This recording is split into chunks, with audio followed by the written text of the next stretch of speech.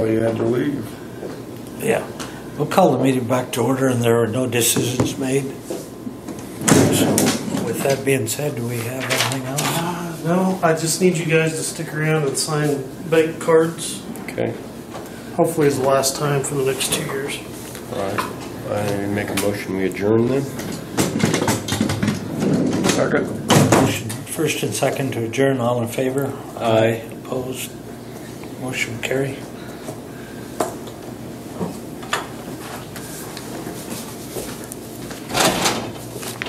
Ready for you.